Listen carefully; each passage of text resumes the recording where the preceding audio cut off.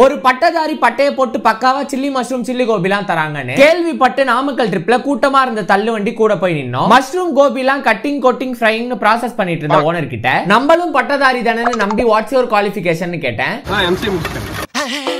MCA chilli mushroom chilli gobi ரெண்டுத்துலயும் நூறு gram order போட்டோம். கண்ணுக்கு முன்னாடியே கோபி காளானை கட் பண்ணி ஃப்ரெஷ்ஷா ப்ரிப்பேர் பண்ணி தராங்க. வெறும் மசாலா கோட்டிங்னு இல்லாம ஒரு ஒரு பீஸ்லயும் மஷ்ரூம் கோபி தென்பட்டுச்சு. என்னோட ஃபேவரட்டா மாறினது நாற்பது ரூபாய்க்கு நூறு கிராம் தர இவங்க மிளகாய் காளான் அதாவது சில்லி மஷ்ரூம்.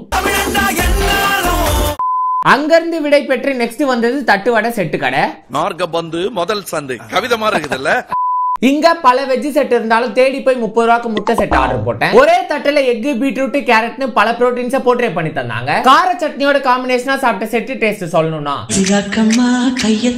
அப்படி தட்டுற அளவுக்கு இந்த தட்டு செட் நல்லா இருந்துச்சு. நெக்ஸ்ட் ஸ்ட்ரைட்டா ரூமுக்கு போய் தூக்கத்தை போட்டு morning five back to Chennai பயணத்தை தொடங்கணும். நாமக்கலுக்கு சொந்த வேலையா வந்து சந்தோஷமா கிளம்பலாம்னு நினைச்சேன். நாம ஒண்ணு நினைக்கிறோம். ஆனா அவன் வேற ஒண்ணு நினைக்கிறான்டா. நான் நினைக்கிறேன். அப்படின்னு ஃப்ரெண்டு கூட்டிட்டு போய் குழி பணிகாரம் வாங்கி தர சொன்னா பள்ளி முட்டாய் மாதிரி பணிகாரத்தை முழுகிட்டு பாத்ரூம் வரோன்ற பயத்துல என்னையே ஃபுல்லா பைக் ஓட்ட விட்டான். வர வழியில மேல்முருத்தூர் முறுக்க மறக்காம பேக்கா வாங்கிட்டோம். இதை விட பெஸ்ட் முறுக்கு காட்டுறவனுக்கு எப்படியோ சென்னை வந்து நாமக்கல் ட்ரிப்பா முடிச்சிட்டோம். கைஸ் நெக்ஸ்ட் ஏதாவது வெளியூருக்கு? போலாமா? இல்ல இந்த ஊர்ல இருந்து ஒரு ஓரஞ்சாரமா உட்காந்து ஃபுட் பிளாக் பண்ணலாமா? மொத்தத்துல எந்த ஊருக்கு நெக்ஸ்ட் போலான்னு கமெண்ட் பண்றேங்க.